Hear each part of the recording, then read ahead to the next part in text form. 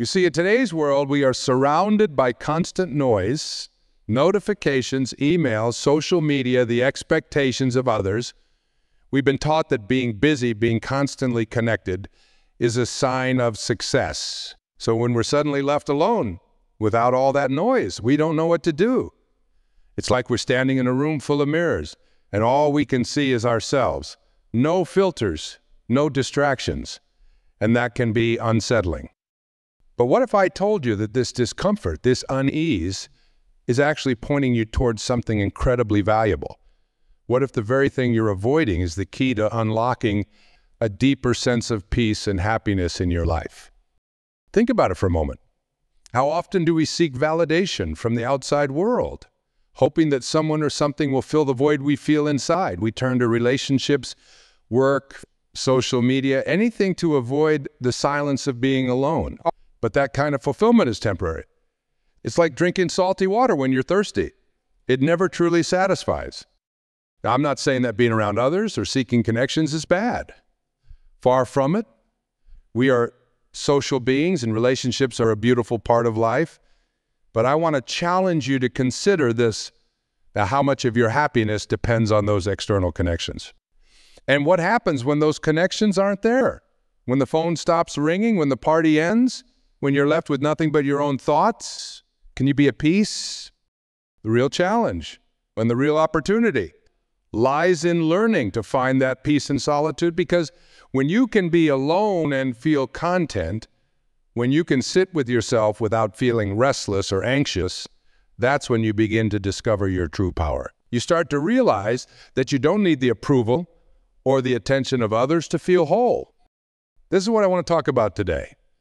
Learning to enjoy your own company, not as a last resort or something to endure, but as a source of strength, clarity, and yes, even joy. It's not about isolation or cutting yourself off it's about understanding that the relationship you have with yourself is the foundation for every other relationship in your life. If you can learn to be your own best company, you'll find that you're never truly alone. And in that space free from distraction, you might just discover the peace and happiness you've been searching for all along. We live in a world that never stops. Think about it. Our lives are filled with distractions. There's always something demanding our attention, whether it's social media, work emails, the latest TV series, or a never-ending list of things to do. It's almost as if we become uncomfortable with the idea of being still, of being quiet, of being alone. And in all this noise, we forget to ask ourselves a simple yet powerful question. When was the last time I truly sat with myself without any distractions? I want you to take a moment and think about that. When was the last time you just sat, not scrolling through your phone, not answering messages or planning your next task, but simply being present with yourself? What did you feel? Did it feel uncomfortable? Did it make you want to reach for your phone or turn on the TV just to escape that silence? For many of us, being alone with our thoughts feels unnatural. We're so used to filling every moment with some kind of distraction that when we finally do have a moment of stillness, it can feel almost threatening. But why? Why is it that being alone, with nothing to distract us, brings up such discomfort? The truth is, we've conditioned ourselves to believe that distractions are a way to avoid unpleasant feelings. When we're constantly busy, we don't have to face our worries, our insecurities, or even our deepest desires. We bury them under layers of distractions, thinking that if we stay occupied, we won't have to deal with them. But the reality is, avoiding solitude only makes things worse. It leads to stress, anxiety, and a feeling that something is always missing. When we don't spend time with ourselves, we lose touch with who we really are. We become so focused on the external world, on what others think of us, on how we measure up, that we forget to listen to our own inner voice. I want you to consider this. What if the discomfort we feel when we're alone isn't actually about being alone at all? What if it's more about the way we've been trained to view solitude? From a young age, many of us are taught that being alone is something to avoid. We're told that it's better to be surrounded by people, to always be connected. And so we grow up associating solitude with loneliness, with boredom, with a lack of purpose. But here's the thing. Solitude and loneliness are not the same thing. Loneliness is a feeling of emptiness, of wanting connection but not having it. Solitude, on the other hand, is a state of being alone by choice, a state that could bring peace, clarity, and even creativity. The problem isn't being alone. The problem is how we perceive it. Now let's compare that to solitude. Solitude is different. Solitude is a state of being alone, yes, but it's not about disconnection or emptiness. It's about being with yourself fully present and finding peace in that. Solitude is about stillness, not lack. It's about quiet, not isolation. When you're in solitude, you aren't longing for someone to fill a void. You're content in your own company. They've been conditioned to fear solitude. We equate it with being lonely or feeling unwanted. Think about how often we hear things like, don't be alone on a Friday night, or you should always have people around you. Society sends us this message that being alone means something is wrong. But I'm here to tell you that solitude is one of the most powerful tools for personal growth you can ever have. Let's take a moment and really think about this. Why do we associate being alone with something negative? Maybe it's because we've been taught to seek validation from the outside world through relationships, through praise, through and when we're alone, we don't have those external sources to make us feel good. So we assume that something's wrong. But solitude isn't about the absence of connection, it's about the presence of self. It's about tuning in to your own thoughts, your own desires, your own emotions without relying on someone else to guide you. In solitude, you give yourself the space to understand who you are without the noise of the world drowning out your inner voice. When was the last time you sat with yourself and truly listened? Not just to the surface level thoughts that pass through your mind, but to the deeper questions that live inside you. What do I really want? What makes me happy? What do I need to heal? These are the kinds of questions that only arise when you give yourself the gift of solitude. And here's something powerful to remember. When you learn to enjoy your own company, you stop needing others to complete you. That's emotional independence. You begin to realize that your worth doesn't depend on someone else's opinion, and your happiness isn't tied to external circumstances. You can be alone and still feel whole, fulfilled, and at peace. I love this quote from the American author Ralph Waldo Emerson. He said, Nothing can bring you peace but yourself. Think about that for a moment. No amount of success, no relationship, no external achievement can bring you lasting peace. Only you can do that. And it starts by being comfortable in your own skin, in your own space, with your own thoughts. I know this can be a challenging idea, especially in a world that constantly tells us to seek fulfillment outside of ourselves. But I encourage you to flip that narrative. Solitude isn't something to be avoided. Because in solitude, you begin to see yourself clearly. You start to realize your own strength, your own resilience, and your own capacity for joy. But here's the good news. You don't need anyone else to tell you that you're worthy. You don't need anyone else's approval to feel good about who you are. When you learn to enjoy your own company, when you build a strong relationship with yourself, you begin to realize that the only validation that truly matters is your. own. Think about it.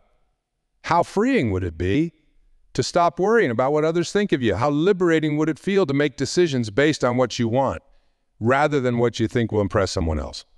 When you're able to stand on your own, confident in who you are, you stop needing the world's approval. You start living life on your own terms, guided by your own inner voice. Now, I'm not saying that we should shut ourselves off from others or stop caring about our relationships. Far from it. But when you learn to validate yourself you bring a different kind of energy into your relationships. You're no longer looking to others to complete you. You're already complete. You show up as your authentic self without needing anyone else's approval to feel whole. This is one of the most powerful things you can do for yourself. Break free from the need for external validation. And when you do, something incredible happens. You start to feel a sense of freedom you may have never experienced before. You start to realize that your worth isn't tied to someone else's opinion. It's something you carry within you, always. So how do you begin this process of freeing yourself from external validation? It starts with recognizing where you're seeking approval in your life. Pay attention to the moments when you find yourself doing something just to get a reaction from someone. Am I doing this because it's true to who I am, or am I doing it because I want someone else to approve of me? Once you start becoming aware of these patterns, you can begin to shift your focus inward. And remember, this isn't about being perfect. We're all human, and we all crave connection and approval to some degree.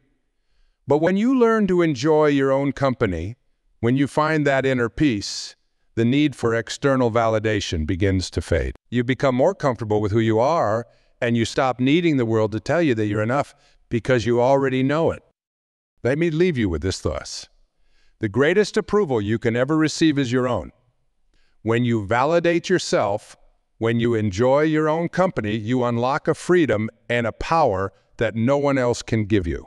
And from that place of inner strength, you can live a life that's true to who you are without needing anyone else's approval to feel complete. Let me ask you something, and I want you to really think about this. What are the things that bring you joy? What lights you up inside? Have you lost touch with those passions? You see, in the hustle and noise of daily life, it's easy to push aside the things that truly make us happy. We get caught up in obligations, responsibilities, and the expectations of others, and somewhere along the way, we forget about the things that make us feel alive. Maybe there was a time when you had hobbies or interests that filled you with excitement, things you did purely because they brought you joy. But over time, life got busy and you told yourself that those things weren't as important. You told yourself you'd get back to them someday. And here we are, years have passed, and that someday still hasn't come. What if you gave yourself permission right now to rediscover those things that bring you joy? What if, in the time you spend alone, you use that space to reconnect with your passions and interests, the things that are uniquely yours? One of the most beautiful gifts that alone time offers is the opportunity to explore what truly makes your heart sing. When you're alone, without distractions, without anyone else's opinions influencing you, you can start to remember what it feels like to do something just because it makes you happy. Not because it's productive, not because it's expected of you, but simply because it brings you joy. Think back to when you were a child. Children don't worry about whether their hobbies are practical or useful. They don't care if their interests seem silly to others. They do things because they're fun, because they're exciting, because they make them feel good. Somewhere along the way, as adults, we lose that sense of play, that freedom to enjoy something for the simple pleasure of it. But here's the truth. Your passions are still there waiting for you. They haven't gone anywhere. They've just been buried under the layers of your busy life. And now as you spend time alone, you have the perfect opportunity to start peeling back those layers and rediscovering the things that make you feel most like yourself. You might be thinking, I don't even know what my passions are anymore. I've been so focused on other things for so long, I wouldn't even know where to start. And that's okay. That's completely normal. But here's the exciting part. Now you get to experiment. Now you get to try new things, explore different interests, and see what lights you up. Maybe you've always wanted to try painting or writing or learning a musical instrument. Maybe you used to love dancing or hiking or cooking new recipes. Or maybe there's something entirely new that you've never tried before but have always been curious about. Whatever it is, give yourself permission to explore it without any expectations. Remember, this isn't about being good at something. It's not about achieving anything. It's simply about finding joy in the act of doing it. When you spend time alone, you don't have anyone else's opinions or judgments clouding your mind. You're free to try things without worrying about what anyone else thinks. And in that freedom, you can rediscover parts of yourself that you may have forgotten or ignored for too long. Let me share a story with you. There was a man I once knew, a successful businessman, who had spent years building his career. He was always busy, always on the go, and he was good at what he did. But one day he realized that despite all the success, something was missing. He couldn't remember the last time he did something just for fun. He couldn't remember the last time he felt real joy. So he decided to take some time for himself. He started spending quiet mornings alone, just reflecting on his life. And one day, he remembered how much he used to love photography. When he was younger, he would spend hours taking pictures, capturing the beauty he saw in the world. But over time, He had put his camera away, telling himself that he was too busy, that there were more important things to focus on. But in those quiet moments, alone with his thoughts, he realized that photography had brought him a sense of peace and happiness that he hadn't felt in years. So he picked up his camera again just to see how it felt, and something incredible happened. He rediscovered his passion. It wasn't about becoming a professional photographer. It wasn't about impressing anyone. It was about finding joy in something that was just for him. And that's the point. When you spend time alone, you give yourself the chance to reconnect with the things that are just for you. Your passions, your interests, your joys, they don't have to make sense to anyone else. They don't have to be productive or lead to something bigger. They just have to make you happy.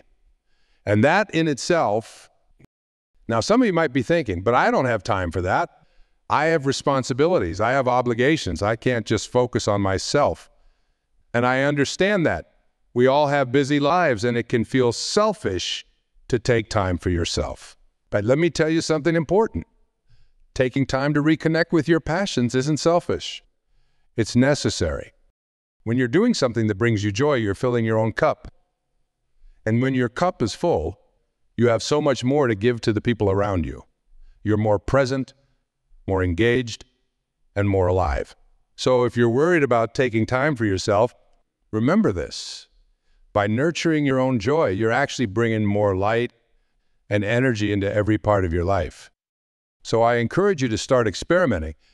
Give yourself the space to try new things, to rediscover old hobbies, to explore the interests that make you feel alive. And don't worry about whether you're good at them or not. This is about finding joy, not perfection. Once you reconnect with your passions, a powerful transformation takes place. You start to feel more in tune with who you are. You start to experience a sense of fulfillment that comes from within rather than from external sources. And that sense of fulfillment spills over into every other area of your life. You become more confident in your decisions, more grounded in your sense of self, and more at peace with the world around you. Because when you're in touch with your own joy, you stop looking for it in places where it doesn't exist. You stop waiting for someone else to make you happy and you realize that the happiness you've been searching for has been inside you all along. When was the last time you felt truly at peace without any external pressures weighing down on you? Picture that moment. Maybe it was a quiet afternoon, perhaps sitting by a window, watching the world go by, or even lying on the grass, staring at the clouds. In that moment of solitude, everything felt right, didn't it? There was a stillness, a clarity, a sense of being at one with yourself and the universe. But in our busy lives, how often do we allow ourselves to experience that kind of peace? How often do we carve out moments of true solitude? You see, many of us are constantly bombarded by the noise of daily life. Social media notifications, phone calls, meetings, and the endless stream of information that demands our attention. In all this chaos, we forget to give ourselves the space to just. Solitude is not just a void to be filled it's an opportunity for profound growth. Research shows that spending time alone can significantly enhance creativity, problem-solving abilities, and emotional clarity. Yes, scientists have proven that when we step away from distractions and allow our minds to wander, we unlock pathways to innovative ideas and solutions that we might have never considered in a crowded room. Think of the great thinkers, artists, and visionaries throughout history. Many of them actively sought solitude. Albert Einstein would often retreat to a quiet space to think through complex problems. He knew that the answers he sought could not be found amidst the chaos of others' voices. Artists like Vincent van Gogh and Georgia O'Keeffe created their most celebrated works during periods of solitude, drawing inspiration from their inner landscapes. Even modern innovators like Steve Jobs recognized the power of solitude. Jobs famously took long walks by himself, using that time to reflect and create. He understood that being alone didn't mean being lonely. It meant accessing a deeper part of oneself that often gets drowned out in the noise of the world. When we allow ourselves this time, we can tap into creativity in ways we never thought possible. Imagine sitting quietly with a notebook, letting your thoughts flow without judgment. Suddenly, ideas begin to emerge. You might find solutions to problems that have been nagging at you. You might remember old dreams that have been buried under the weight of life's responsibilities. And then there's the emotional clarity that solitude brings. When we are alone, we can connect with our feelings, sift through our thoughts, and gain a better understanding of ourselves. It's in these moments that we can ask ourselves the tough questions What do I truly want? What am I feeling? What do I need to let go of? When we are surrounded by others, it's easy to overlook our own needs and desires. Uh, solitude gives us permission to explore these thoughts without distractions. I want to share a personal story. There was a time in my life when I felt lost amidst my responsibilities. I was busy, constantly surrounded by people and noise, but I felt a profound emptiness. So I decided to spend a few days alone at a small cabin in the woods. At first, I felt the urge to fill the silence with noise, music, podcasts, anything to drown out the thoughts. But gradually, as the days passed, I learned to embrace the quiet. It was there, surrounded by nature, that I started to feel a sense of peace was over me. I picked up my journal and began to write. Ideas flowed freely, and for the first time in a long while, I felt clarity about my purpose and my passions. I left that cabin renewed, inspired and grateful for the experience of solitude. Now, I'm not saying solitude is always easy. Initially, it can feel uncomfortable. You might wrestle with thoughts and feelings you've been avoiding, but that's where the real magic happens. It's in facing those uncomfortable feelings, in listening to that inner voice, that we find strength and resilience. So how can you begin to cultivate this peace and clarity in your own life? Start small. Set aside a few minutes each day for solitude. It could be as simple as sitting quietly in your favorite chair, going for a walk in nature, or even meditating. Allow your thoughts to flow freely. Don't judge or analyze them, just observe. Over time, you'll find that this practice becomes more comfortable, more natural. And remember, solitude isn't just about creativity or peace.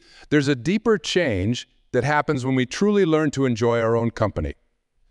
When you embrace solitude, you start to become your own best friend. You learn to trust yourself, to appreciate your own thoughts and feelings, and to celebrate your own achievements, no matter how small. As you begin to cultivate this relationship with yourself, you'll notice that your interactions with others begin to change as well.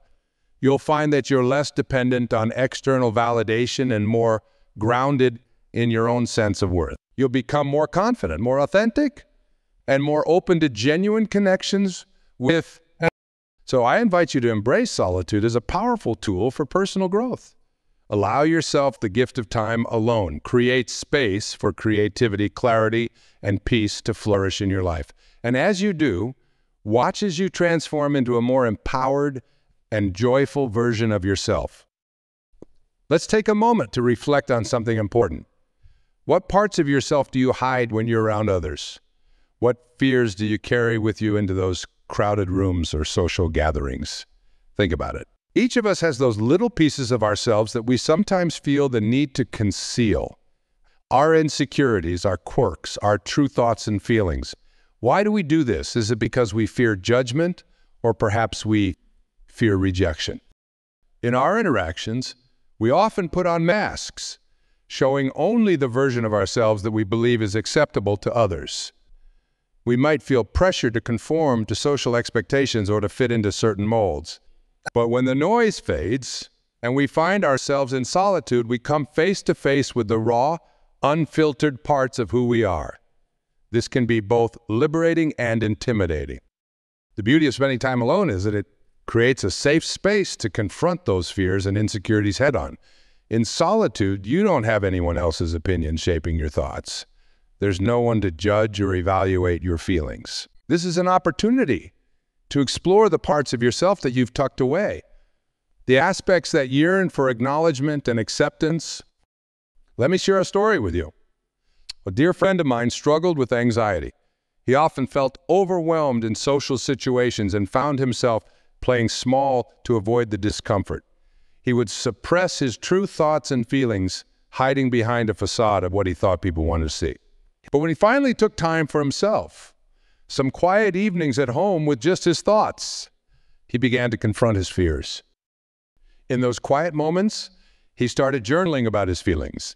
He wrote about his anxieties, his dreams, and even the moments when he felt ashamed or inadequate. Slowly, he began to understand that these fears were not as powerful as they seemed. He learned that those parts of himself he had hidden were valid and worthy of love and acceptance. Facing his fears in the safety of solitude allowed him to peel back the layers of self-doubt. He realized that many of the judgments he feared from others were simply reflections of his own insecurities. With each page he filled, he found strength and clarity. Eventually, he felt empowered to share more of his true self with others, and that opened the door to deeper, more meaningful connections. You see, when we face our insecurities in solitude, we give ourselves the chance to understand and embrace them. We can acknowledge our fears without the pressure of judgment, allowing us to work through them at our own pace. This process is not always easy. It requires vulnerability, honesty, and a willingness to sit with discomfort. But I promise you, it's worth it. So how do you begin to face these insecurities? Start by creating a space for yourself. Whether it's a cozy corner in your home, a favorite park bench, or anywhere you feel comfortable. Set aside some time each day to sit quietly and reflect. You might start by asking yourself, what am I afraid of? What am I hiding? Allow those questions to linger in your mind. Write down whatever comes to you, no matter how small or insignificant it may seem. As you reflect, you might uncover fears that have been lurking in the shadows for too long. Maybe you fear failure or feel unworthy of love and acceptance. Maybe you worry that others will see you as inadequate. These feelings are more common than you think. They're part of being human. And the more you acknowledge them, the less power they will hold over you. As you begin to face your insecurities, you'll find something remarkable waiting for you on the other side. You'll discover a deeper sense of self-acceptance and self-love. You'll learn that it's okay to be imperfect, that it's okay to show up as your authentic self, flaws and all. And once you embrace this truth, a beautiful shift occurs. You start to experience freedom, not just in solitude, but in your relationships with others as well. Imagine walking into a room filled with people, feeling confident enough to share your thoughts and feelings openly. You no longer feel the need to hide. Instead, you shine brightly, attracting those who appreciate you for who you truly are. You build connections based on authenticity. And those relationships become richer and more. And here's the key. The more you embrace your true self without fear, the more you empower others to do the same. When you're honest about your struggles, you give permission for others to be vulnerable too. This creates a ripple effect, fostering a culture of acceptance and understanding. So I encourage you to take that leap. Spend time in solitude, not just to escape the world, but to truly discover yourself. Allow yourself to confront your fears and insecurities. Embrace your true self without fear of judgment. When you do, you unlock a profound sense of freedom that enriches not only your life, but the lives of those around you. Remember, the journey to self-acceptance is ongoing. It's a process that requires patience and compassion. So be gentle with yourself as you navigate this path. You're not alone in this struggle. And each step you take brings you closer to the beautiful, authentic person you were always meant to be. How often do you take a moment to express love or kindness toward yourself? Think about that for a second. Many of us are quick to extend compassion and understanding to others, but when it comes to ourselves, we can be our own harshest critics. We might wake up in the morning and focus on our flaws, reminding ourselves of the mistakes we made yesterday. Instead of celebrating our strengths and accomplishments, we often dwell on what we perceive to be shortcomings. But what if we shifted our focus? What if we learned to enjoy our own company, not just as a practice, but as a pathway to self-love? When we spend time alone, we have the unique opportunity to connect with ourselves on a deeper level. This time of solitude can serve as a nurturing space, allowing us to cultivate a loving relationship with ourselves. Let me share a personal story that illustrates this point. There was a period in my life when I was caught up in the hustle and bustle constantly chasing goals and achievements. I found myself feeling overwhelmed and dissatisfied despite the external successes I had attained. It was during this time that I realized I had neglected an essential aspect of my well-being, self-love. So I decided to dedicate time to being alone, not as a form of escape, but as a conscious choice to nurture myself. In those moments of solitude, I began to practice positive self-talk. Instead of focusing on what I thought I was lacking, I started acknowledging my strengths, my values, and the unique qualities that make me who I am. I would look in the mirror and say, you are enough. This simple affirmation changed my outlook. It reminded me that I didn't need to seek validation from others. I was worthy of love and acceptance just as I was. It's easy to forget that self-compassion is a practice. So often, we think that self-love should come naturally, but it takes intention and effort. One way to cultivate this compassion is through mindfulness. Mindfulness allows us to observe our thoughts and feelings without judgment. It's about being present in the moment acknowledging our experiences as they are, and treating ourselves with kindness. The next time you catch yourself being critical or unkind to yourself, pause. Take a deep breath and ask yourself, would I say this to a friend? More often than not, the answer is no. We tend to be far gentler and more forgiving toward others than we are to ourselves. This awareness is the first step toward transforming how we speak to ourselves. Consider incorporating a daily practice of gratitude into your routine. Each day, take a moment to reflect on three things you appreciate about yourself. Maybe it's your ability to listen to others, your sense of humor, or your dedication to learning. By focusing on the positive aspects of who you are, you slowly start to shift your mindset. You begin to see that love and kindness are not just reserved for others, they're essential for your well-being too. Additionally, engage in activities that bring you joy and fulfillment, whether it's painting, gardening, cooking, or simply going for a walk in nature. These moments of pleasure can serve as expressions of self-love. They remind you that you deserve to enjoy life and all the beauty it has to offer. When you allow yourself to indulge in activities that light you up, you reinforce the idea that your happiness matters. And let's not forget the power of journaling. Writing down your thoughts and feelings can be incredibly therapeutic. It's a space where you can be completely honest with yourself, expressing emotions that may be difficult to articulate verbally. As you pour your heart onto the pages, you create a record of your journey towards self-discovery and acceptance. As you cultivate self-love, you'll notice a profound transformation in how you experience the world around you. With self-love comes a new lens through which to view your life. You'll start to approach challenges with a sense of resilience, knowing that you have the inner strength to overcome obstacles. Instead of shying away from difficulties, you'll embrace them, seeing them as opportunities for growth. Moreover, self-love allows you to build healthier relationships. When you treat yourself with kindness and respect, you set the tone for how others treat you. You'll attract people who value you for who you truly are. And those relationships will flourish because they're built on a foundation